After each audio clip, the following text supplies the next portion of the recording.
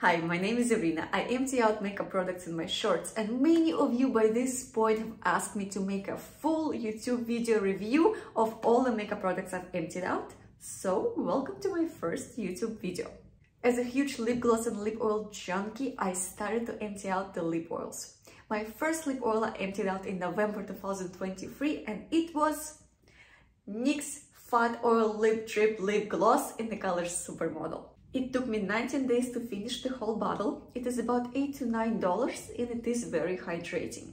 The problem that I had was I cannot reach the product that's on the bottom right here. I tried to flip the bottle, it did not work. Also, if you look at the applicator, that began maybe on day 16, 15, that I could start feeling the plastic. So it wears off, I would say very quickly.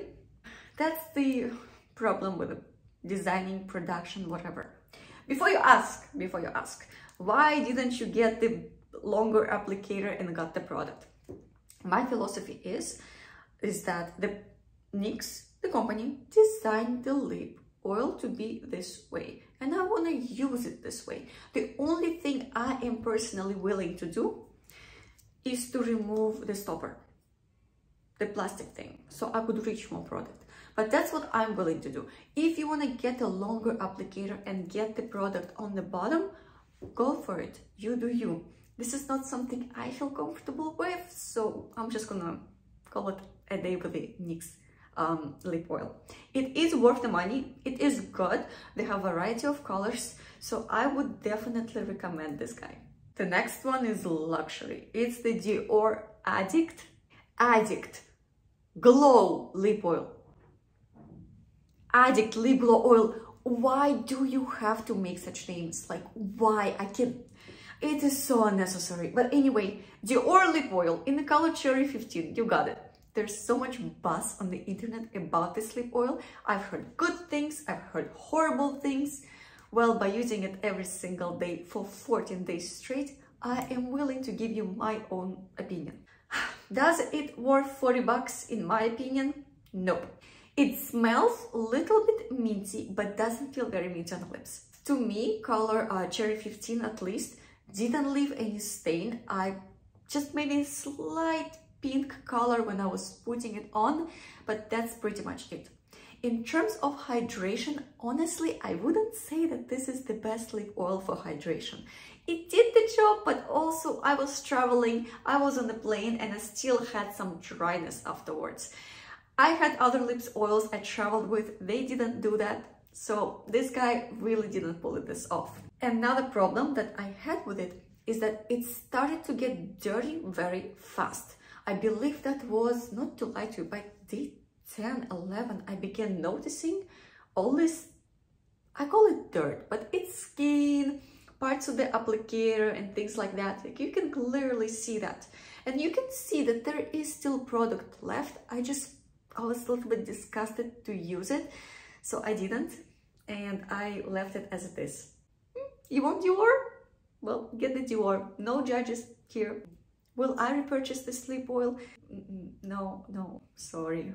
The next one I have is the one by e.l.f. It's the Glow Revival Lip Oil, right? Yes, I am right. I have to tell you, that is my personal favorite. One thing is, it's super hydrating, it is long wearing, and I absolutely love the applicator. It felt like the softest bunny tail on my lips. If you watched my short about it, it got very muddy on the day three or four but that's because I drink a lot of coffee so maybe that's because but it does get muddy pretty fast it did not affect the color on the lips so in the bottle it got very muddy but on my lips it was still crystal clear another thing I forgot to tell you has light mint scent does not feel minty on the lips Again, didn't feel minty on my lips. Some people said that they felt little minty sensation, but honestly, it's so little. I didn't feel it, but I could smell it in the bottle. Amazing. Love, love, love. Next one, we come back to luxury again, and this is the beloved Clarins Comfort Lip Oil. This shade leaves a beautiful warm cherry stain. It is very lightweight, has slight like herby natural scent that honestly I could feel on my lips. It didn't bother me, but if you are not someone who likes that, probably you should avoid this product. The negative side of it is that if you have super dry skin and dry lips, this lip oil might not be enough for you, especially if you live in a very dry, cold weather. Also, because of its very light consistency, it's not going to leave that juicy, very glossy finish. I guess because it has more of these natural oils in it, they just, you know, they melt into your lips. And it took me 15 days to finish the whole bottle.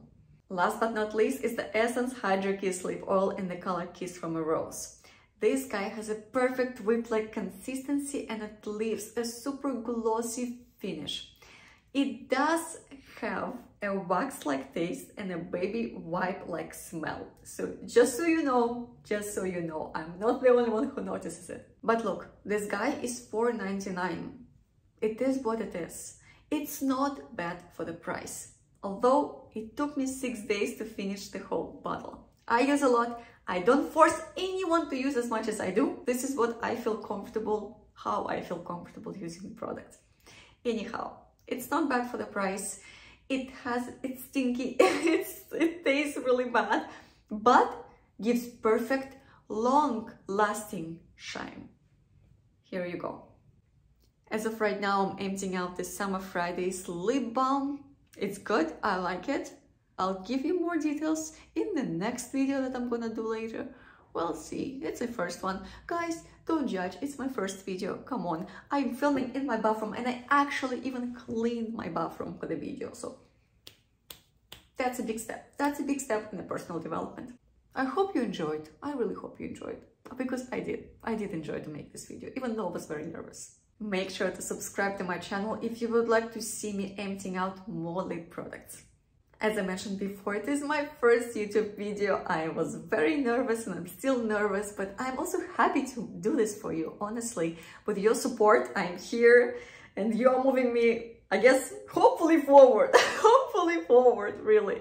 Thank you so much, guys, for all of your love and support. I love you. I appreciate you. Thank you for all of your suggestions about what products I should empty out next. I really appreciate it. Thank you so much. I'll see you next time.